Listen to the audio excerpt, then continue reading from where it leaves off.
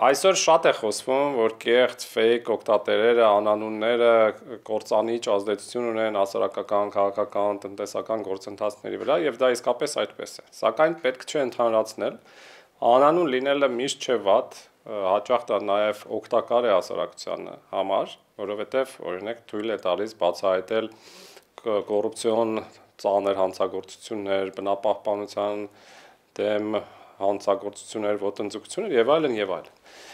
Ավելին մեր համանadrությունն է պաշտպանում ձեր անանուն լինելը, որովհետև դուք իրավունք ունեք ազատ արտահայտման, ընդհուպ մինչև մնալով թաքուն գախնի քողարկված, որովհետև կան դեպքեր, երբ մարդ ունի հանրությանը կարևոր բան ասելու, բայց վախենում է կամ կաշկանդված է եւ չի կարող իր անձը բացահայտել։ Այնպես որ անանուն լինելը պետք չէ միայն բացասական ընդունել։